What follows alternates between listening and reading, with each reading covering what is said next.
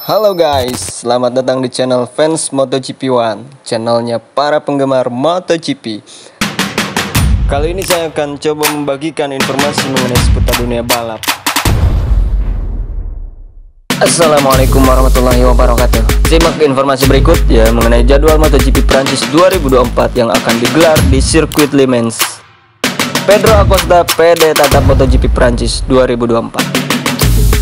Mari kita lanjut pembahasannya. Cekicrot.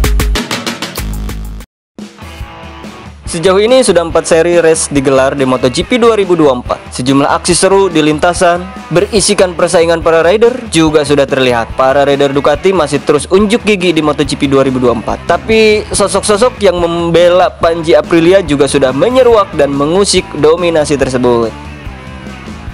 Dari empat race utama di MotoGP 2024, Tiga di antaranya berhasil dimenangi rider di atas motor Ducati. Cuma di MotoGP Amerika 2024 Ducati gagal menang seiring kehadiran Maverick Vinales dari Aprilia di podium teratas. Selain itu, sepak terjang Rocky Pedro Acosta dari Red Bull Gas Gas Tech 3 di atas motor KTM sejauh ini juga sedemikian mencuri perhatian. Setelah dua kali naik podium di race utama, tampaknya tinggal tunggu waktu saja sampai akhirnya Pedro Acosta berhasil meraih kemenangan perdadanya di kelas primer MotoGP. Dan akankah itu terjadi di MotoGP Prancis 2024? Ya, kita lihat aksi-aksinya nanti.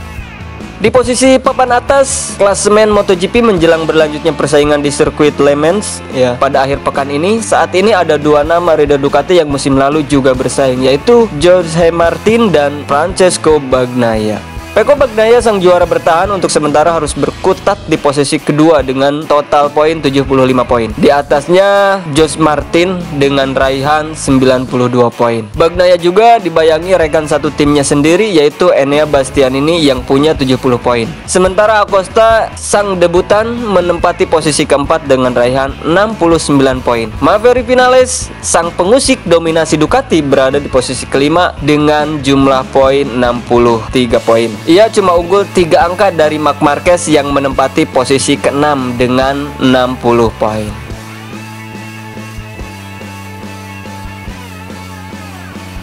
Suka dengan tracknya, Pedro Acosta PD tatap MotoGP Prancis 2024. Pedro Acosta percaya diri akan tampil apik di MotoGP Prancis 2024. Pembalap tim dari Red Bull Gas Gas itu mengatakan kegagalan di seri lalu akan menjadi modal di sirkuit Bugatti Le Mans. Acosta sedang bersiap untuk bersaing MotoGP Prancis 2024. Balapan tersebut akan berlangsung di sirkuit Bugatti Minggu 12 Mei 2024 pukul 19.00 waktu Indonesia Barat. Pembalap berusia 19 tahun itu tentu berharap bisa meraih hasil lebih baik ketimbang di MotoGP Spanyol 2024 pada tanggal 28 April silam. Ya, saat itu Acosta yang digadang-gadang akan bersaing di barisan depan justru harus mengakhiri balapan pada posisi ke-10. Belajar dari sebuah kesalahan di balapan sebelumnya, Acosta optimis bisa meraih hasil positif di MotoGP Prancis 2024. Pembalap asal Spanyol itu menegaskan sudah mengetahui beberapa kekurangan dari balapan sebelumnya. Kami datang ke Le Mans dengan membawa banyak hal yang kami pelajari di Jerez. Ujar Acosta dilansir dari Speedweek Rabu 8 Mei 2024. Setelah empat balapan akhir pekan, kami tahu area mana yang perlu kami tingkatkan. Tes di Jerez pada hari Senin, 29 April 2024 kemarin, banyak membantu kami. Saya pikir kami akan datang ke Prancis dalam situasi yang jauh lebih baik, sambungnya. LT Buron de Mazaron mengatakan, Le Mans merupakan salah satu sirkuit favoritnya. Bisa dikatakan Prancis juga merupakan kandang dari Tekti. Acosta berharap sejumlah tambahan motivasi itu bisa mengantarnya meraih kemenangan. Le Mans adalah trek yang sangat saya sukai dan juga merupakan balapan kandang dari tim Tech 3. Kami akan berusaha memberikan performa terbaik kami, kata Acosta. Kami ingin memulai di sini dengan kualifikasi dan melakukan segala yang kami bisa untuk memastikan posisi awal yang optimal. Saya sangat menantikan balapan di Le Mans di depan penonton yang juga menyukai balap motor.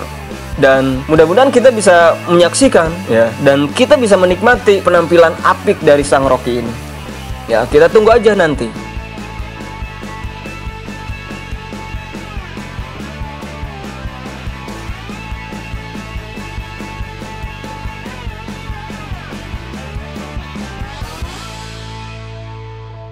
Kasih guys kepada kalian semua yang telah menonton video ini. Jangan lupa tekan tombol subscribe-nya dan nyalakan notifikasinya untuk mendapatkan video-video seru tentang informasi tentang seputar MotoGP hanya di channel fans MotoGP.